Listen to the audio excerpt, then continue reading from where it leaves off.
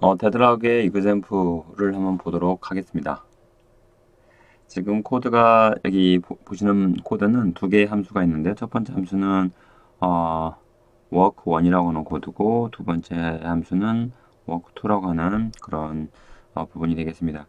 어, 여기 그림에서 지금 자세히 봐야 될 부분은 첫 번째 thread, thread를 통해서 mutex lock이 형성이 되는 부분입니다. 첫 번째 work1에서는 첫 번째 mutex를 요청을 하고 그 다음에 두 번째 mutex를 요청하는 상황이 있고요. 두 번째 프로세스 같은 경우는 두 번째 mutex를 먼저 요청한 후에 첫 번째 mutex를 사용을 하고 그리고 나서 이 두 개의 그 mutex를 얻은 다음에 아, 자기들이 하려고 하는 임계 영역으로 들어가서 작업을 하는 것을 볼 수가 있습니다. 자, 이 상황을 어, 아래 그림처럼 우리가 표현을 할 수가 있겠는데요. 여기 지금 보시는 바와 같이 첫 번째 작업을 하는 프로세스와 아, 프로, 어, 프로세스와 두 번째 작업을 하는 프로세스 이렇게 두 개로 생각을 해볼 수가 있겠습니다. 물론 앞에서 봤던 예제는 thread인데요. 프로세스라고 얘기를 하고 진행을 해보도록 하겠습니다. 그래서 만약에 어, 먼저 첫 번째 프로세스가 어, first mutex를 갖다가 얻어오는 작업을 먼저 진행을 했고요. 어, 진행하고 난 다음에 잠시 후에 에, 문맥 전환이 이루어져서 그 OS가 아, 현재 이 첫 번째 프로세스를 갖다가 아, 대기 queue 또는 wait 상태에 빠, 음, ready queue 대기 상태에 대기 queue에다 넣, 아, 입력한 후에 문맥 교환에 의해서 현재 지금 아무것도 일을 하고 있지 않던 두 번째 프로세스를 진행시키는 겁니다. CPU를 이용하게 하는 거죠. 그럼 두 번째 프로세스는 아, 함수 내, 그 함수 내용을 보면 두 번째 mutex를 먼저 얻게끔 되어 있습니다. 따라서 두 번째 mutex를 먼저 얻어오고 다음으로 진행을 하려고 그랬는데 다시 문맥 전환이 발생이 돼서 어, 그 다음번에 ready queue 상태에 있던 첫 번째 프로세스를 다시 어, 수행할 수 있도록 CPU를 이용할 수 있도록 어, 문맥 전환이 이루어집니다. 근데 이때 첫 번째 프로세스는 첫 번째 뮤텍스는 얻었으나 두 번째 뮤텍스는 두 번째 프로세스가 가져갔기 때문에 두 번째 프로세스를 얻지 못하는 이런 상황이 발생하게 된다는 거죠. 물론 그러면 계속 대기 상태에 머물러 있을 거고요. 그럼 만약에 또 문맥 전환이 발생이 돼서 OS가 기회를 두 번째 프로세스에 줄 수 있습니다. 근데 두 번째 프로세스는 역시 마찬가지. first mutex를 첫 번째 프로세스가 가지고 있기 때문에 이 두 번째 프로세스도 어, 진행을 하지 못하고 계속 대기 상태에 머무르게 되는 이런 상황이 발생이 될 수 있다는 거고 이게 바로 교착 상태의 하나의 예라고 볼 수가 있겠습니다.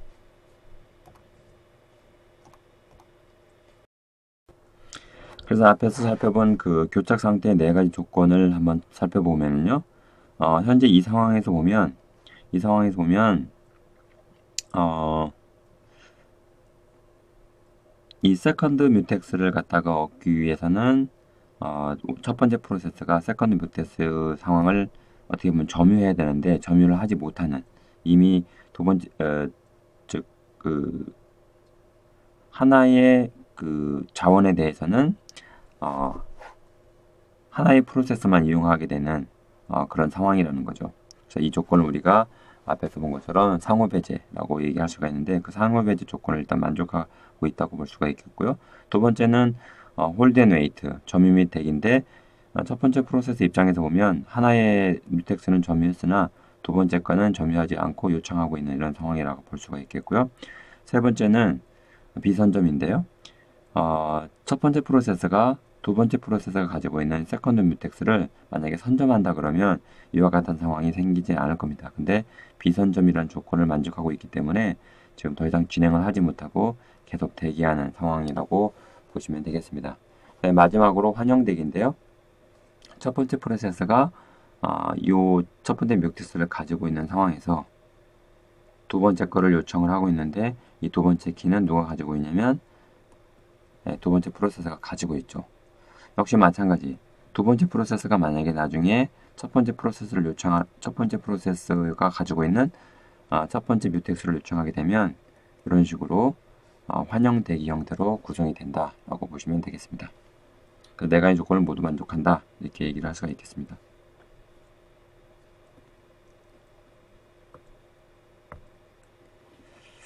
자자 그러면 어, 좀 더 그 deadlock의 시스템 모델에 대해서 좀 더 살펴보도록 하겠는데요.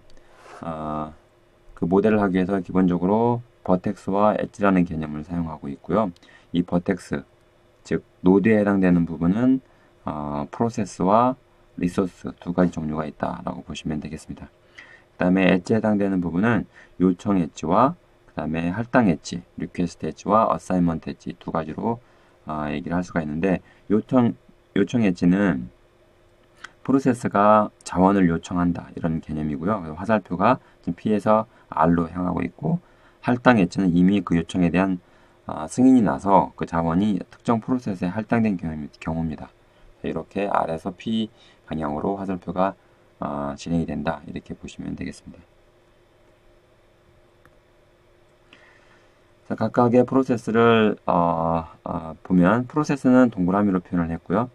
그 다음에 두 번째 어, resource는 사각형으로 표현을 했습니다. 근데 현재 여기서는 네 개의 하나의 그 동일한 자원에 대해서 네 개의 instance, 즉 앞에서 그렇게 살펴본 것처럼 프린터가 네 대다 그렇게 되면 이 점이 네 개가 찍히는 찍혀 있게끔 그림으로 표현할 수가 있겠고요. 그 다음에 요청 요청 엣지는 PI에서 RI로 이렇게 어, 즉 자원으로 향하게끔 되고요. 그 다음에 assignment 즉 PI가 특정 어, 자원 RJ의 instance 즉 하나를 가지고 취했다, 가지고 있다, 사용하고 있다 이런 의미는 보면 이 검은색 점에 있는 부분의 부분이 이쪽 방향으로 화살표가 되어 있는 것을 어, 보실 수 있겠습니다.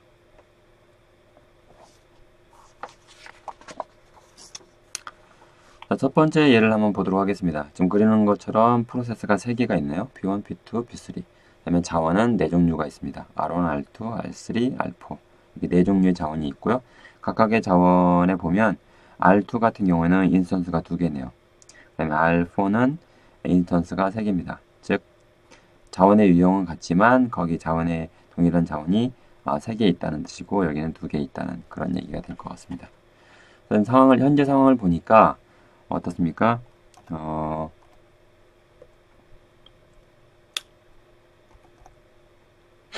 P1 경우를 한번 보면 P1은 R2의 자원을 현재 이용을 하고 있네요.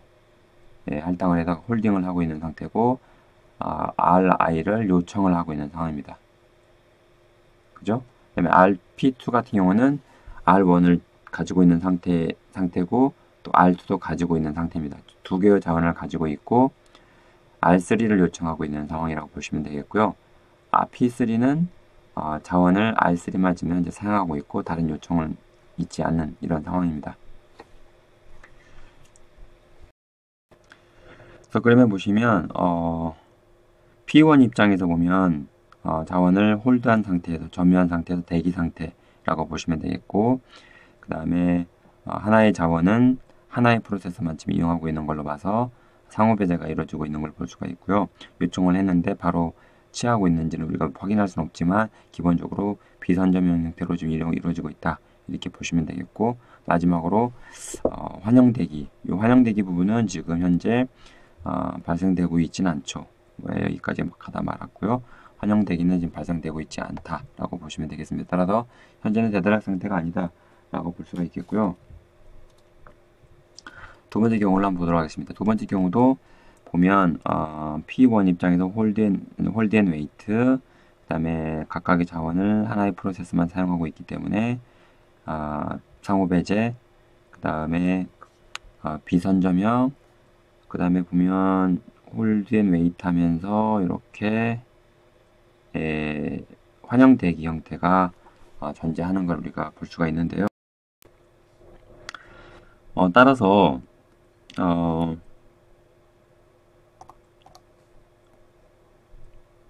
여기다 나 지금 사이클인 환형대기 상태가 있는데요. 어, 따라서 어, P3가 R2를 요청함으로써 여기 여분의 자원이 instance가 있으면 할당을 해주겠지만 할당에 지금 전, 어, 여분의 자원이 존재하고 있지 않기 때문에 P3는 계속 대기 상태에 빠져 있을 거고요. 즉 hold and wait 상태가 될 거고 P2도 두 개의 자원을 가지고 있지만 hold and wait 상태에 빠지게 있고요. P1도 hold and wait 상태에 빠지고, 빠지게 됩니다. 즉 서로 아, 상호 배제이면서 점유 대기이고 그 다음에 비선점 형태이면서 마지막으로 환영 대기 형태가 아, 존재를 하고 있는데요. 이런 상황이 지금 결국 교착 상태다 이렇게 얘기를 할 수가 있겠습니다.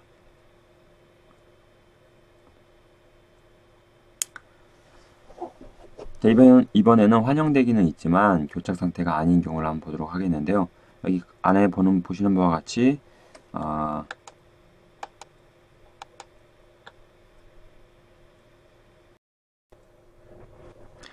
어, 보시는 바와 같이 음, P1과 P3 사이에 이 환영 대기가 존재하는 걸 알 수가 있습니다. 그렇죠? 그 다음에 P2를 보면 P2는 홀드만 하고 있는 상태고 어, P4도 hold만 하고 있는 상태입니다. 근데 이 상황에서 환형 대기는 존재하지만 P2는 hold and wait, 즉 점유 대기 상태가 아니죠.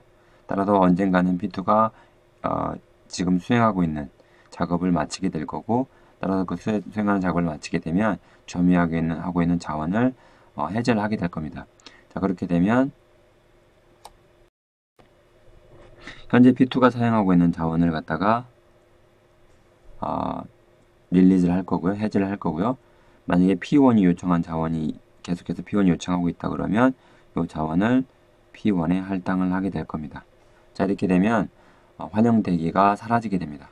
자 그래서 그림 같은 경우에 현재 상태는 그 환영 대기가 존재하고 몇몇 프로세스가 어, 비선점형이면서 점유 대기를 하고 있지만 어, 점유 대기를 하고 있지, 하고 있지 않은 프로세스들이 있기 때문에 이 프로세스들에 의해서 자원이 해제가 될 거고 환영 대기는 사라지게 되는 그래서 되돌하게 빠지지 않는 이런 상황이다라고 우리가 얘기를 할 수 있겠습니다.